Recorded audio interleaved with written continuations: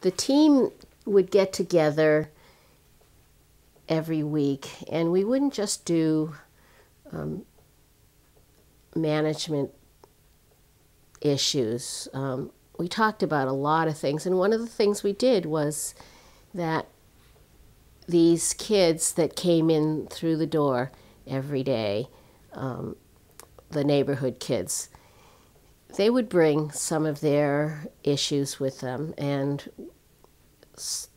sometimes we were really kind of befuddled about how to handle them because um, not a lot of us had child psychology in our background. So um, Elaine brought in a child psychologist who met with us and he would talk to us about what kinds of issues we were facing with these kids um, who were the junior volunteers or the neighborhood kids. And I was very touched and um, impressed that the museum would spend the money to have a psychologist come in every week to work with the floor staff.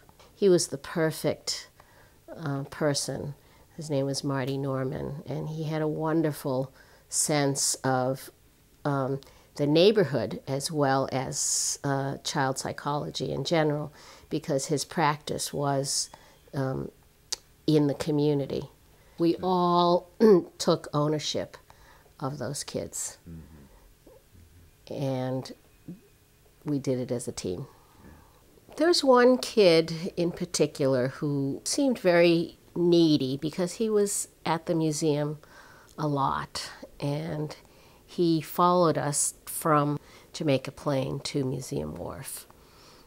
And he just was around so much, we just made him work, right? And and he was around so for so many years that he kind of grew up there. And we saw him go through some really uh, rough and crazy times. Um, he was very fond of keys, so and I was the one who carried the most keys. So um, I, I was a, a target for, you know, if I if my keys were missing, I knew who had them.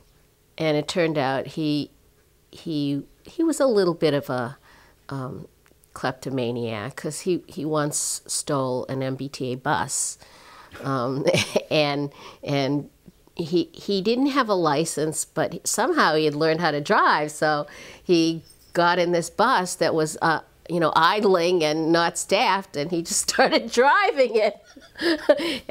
and the funny thing was that he, he not only drove it, but he picked up passengers.